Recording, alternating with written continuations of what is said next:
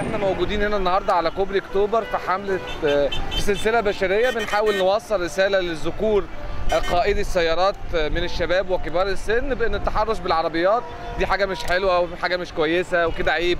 ومش هنقول لك دي أمك وأختك هي لا أمك ولا هي أختك هي مواطنة مصرية ليها كل الحقوق وعليها كل الواجبات. أمنها وسلامتها في الشارع ده حقها أصيل دي مش منا من حضرتك. بنقول له إن العربية دي وسيلة مواصلات مش للتحرش بالبنات.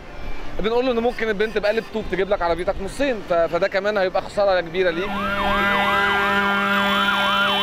إحنا بنتمنى إن إحنا نوعي المجتمع نقول له إن أنت لما هتتحرش بواحدة سواء باللفظ أو بمد الإيد أنت مش هتستفيد حاجة. كل اللي هتعمله إن أنت هتكون بتأذيها وبتخوفها إن هي تنزل الشارع.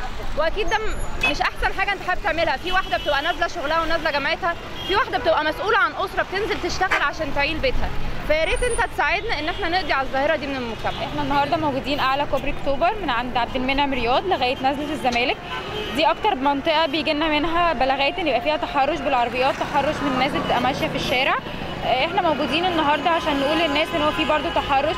محدش آه، في ناس بتعدي تقول مفيش تحرش لا التحرش موجود.